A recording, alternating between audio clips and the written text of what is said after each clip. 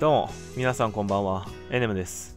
え今年冬に発売が予定されている東京グール RE コールトゥイグジストですが現在公開されている情報をまとめてみましたので今回はそのことについて、えー、お話しさせていただこうかなと思います。まずタイトルですが皆さんご存知の通り東京グール RE コールトゥイグジスト、えー、ゲームジャンルはサバイバルアクション。価格は未定。プレイ人数は1人でオンライン、えー、オンラインマルチプレイ時の人数は未定。2018年冬に発売予定。で対象年齢は、えー、審査予定ということで、えー、まだ決定はしていないようです、えー、結構前にですね公開された PV の冒頭に、え本映像には暴力、えまたは流血表現が含まれますと、え表示されていたのでもしかしたらですね、まあ、C ぐらい、まあ、A はないんじゃないかなと思っています、まあ、B か C ぐらいにえー、なるのではないかなと、えー、思っております。え続いて、プレイヤブルキャラクターについてです。えー、プレイステーションブログを参照しました。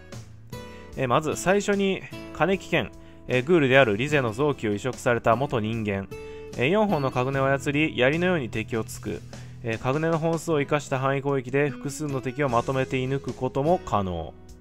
霧島10日、え高校に通いながら喫茶店アンテイクで働くグール、羽のように展開するカグネ、羽角を生かし、反撃されない間合いからの遠距離攻撃を得意とする。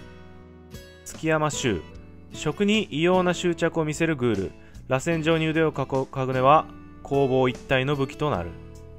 アモン幸太郎、対グール機関、グール対策局。CCG 本局所属のグール捜査官、えー、棍棒状のクイーン系。堂島2分の1とえー、プレート上のクイーン系クラを操る。動作こそ遅いが当たると大ダメージかつノックバックさせる攻撃を放つ。有馬気象 CCG 本局に所属する天才グール捜査官で CCG の死神と呼ばれる高い戦闘能力を持つ。レート S プラスのクイーン系鳴神を使いこなす。霧島綾人。強さに固執する東花の弟。青桐の木の幹部であり全てに打ち勝つ強さを欲している。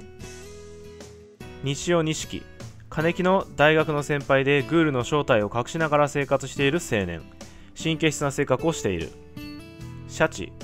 元ロックのリーダー。武道の達人であり屈強な体格をした男。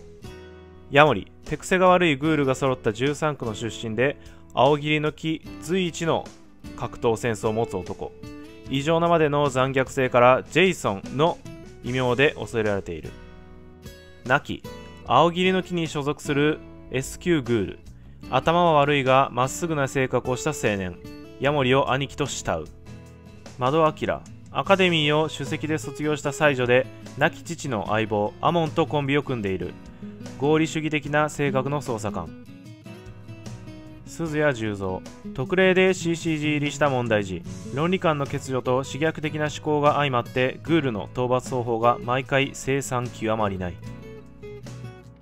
以上が現在公開されているプレイヤブルキャラクターですが、えー、ホームページにも、えー、PV にも出ている佐々木ハイセについては、えー、プレイヤブルキャラクターとして、え登場すると思います。えその他 RE キャラクターたちもですね、まあ、後々、まあ、発表されるか、まあ、実装されていると思うんですけども、え DLC とかでもですね、ま追加されていくのではないかと思っています。えとりあえず発表されているのは、え無印のキャラクターだけなんですかね。まあ、ハイセは登場してるんですけども。ゲームですが、えー、三人称視点のアクションゲームとなっているようです。エリア間を移動しながらゴールを目指しますが、エリアの中には、えー、強敵やいろいろなギミックが、えー、存在しており、プレイヤーの前に立ちはだかると、えー、そういったゲームになるそうです。発売日は今年の冬ということで、まあ、前にも予想したんですけど、えー、金木と有馬の誕生日である12月20日ではないかと、えー、思います。えその日はですね、木曜日であり、えー、ゲームの発売日は木曜日に集中していることから、えー、おそらくこの日ではないかと予想しています。今はまだ公開されている情報も少なくて、えー、想像と期待が膨らむんですけれども、えまあ10月からアニメもね、始まるので気長に待つことにしましょう。では、え今回はこの辺で終わりたいと思います。ではまた。次回の実況動画でお会いしましょう。お疲れ様でした。